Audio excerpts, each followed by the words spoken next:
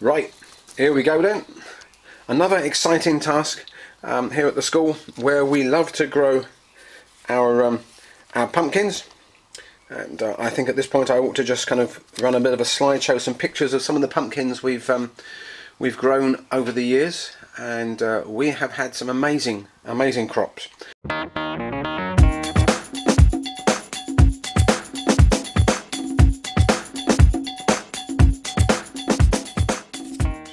So we thought we'd show you what we um, what we do, how we do it. Uh, we've got um, two lots of seed here we're going to sow. We've got some of this um, Atlantic Giant uh, packeted seed here that we've, um, I think we've had this donated to us uh, actually um, as part of the, um, I think it was the RHS School Gardening. Someone gave it to us anyway. Thank you very much, whoever it was. Um, so we're going to sow some of those, but we've also got some seeds here that we collected from our own pumpkins uh, last year and we are going to have a go at growing some of them. Um, you, you, kind of get to learn which ones are um, are going to be kind of viable seeds and which ones aren't. This one here is kind of soft and dry and you can just almost feels like it's hollow inside. I'm going to reject that one. These guys here though, from last year's crop, thick you can feel that there's something bursting in there wanting to come out. So um, I'm going to do two two seeds per per pot and I'm going to do them on their edge. So we're just going to press them just into the compost like that.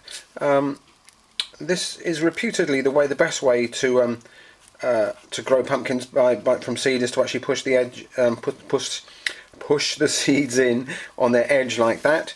And then we'll just cover them with a little bit of um, little bit of compost. I have grown them just you know with the um, the seeds lying flat um, and we've had you know reasonable germination but um, we've you know we, we find that perhaps we get slightly better germination if we grow them on their side. Um, not absolutely sure of that but everyone tells me that's the way to do it so who am I to argue? Just want to give you a bit of a close-up on these um, pumpkin seeds that we've grown and collected from our own pumpkins last year. This one here is a little bit thin and feels hollow, doesn't feel like there's much in there and it's quite, if you look at it sideways on, there's not much to that one. Compare that to this one here, if I turn him on his side, can you see he's thicker? And it, just to give him a slight, not a squeeze really, but I can feel that there's something solid in there that's bursting to get out. So that's a good one and we're going to just push him gently into the compost there and get another one of those firm, thick firm seeds and just cover them over like that. That's all they need.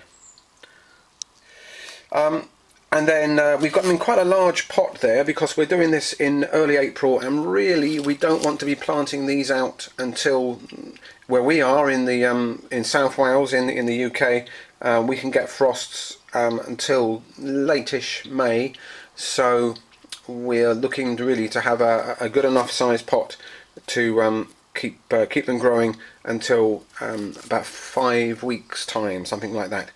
Um, we do two in a pot partly to allow for um, you know if one of the seeds doesn't germinate uh, but if they both germinate we found that actually you know two of them growing together and as long as we've got a good size hole with plenty of compost in they will grow happily um, together there and we just get a good good heavy heavy crop so there we go. That's how we uh, how we sow the seeds. I'm going to do a few more of our um, our uh, kind of own grown uh, seeds. There's another reject one there. That's soft inside. Oh, that's nice and thick and juicy. Um, and I'm going to do some of the uh, the packeted seed just in case ours don't come up, but I feel confident that they will. Um, and then the next step, uh, while these are, are, growing away in the greenhouse, we'll give them a quick um, give them a quick water now in a second. While they're growing away over the next month, we need to prepare the ground. We need to, um, um, you know, put lots of compost, uh, create a bit of a, um, a pumpkin mound, and I'll show you how we do that on one of our, our next videos. Okay. There you go. So we got four of our own, four pots of our own uh, seed sown and four of the packeted um, pumpkin seed sown, and we're just going to give them a quick drink. And let that soak in.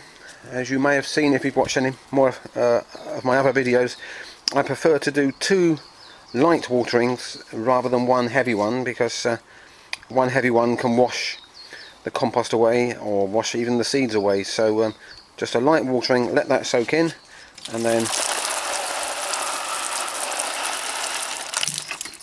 perfect. Look at that. And now we're going to pop those into the into the greenhouse along with all the other babies and see how we get on